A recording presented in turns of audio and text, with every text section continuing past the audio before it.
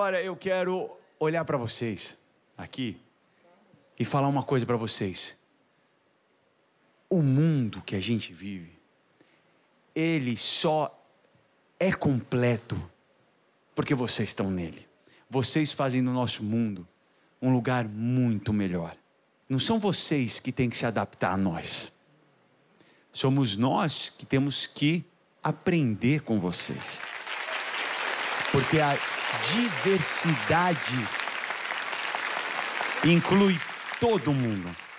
Não tem ninguém que está fora dela. E a gente, como raça humana, a gente só é completo com todo mundo junto.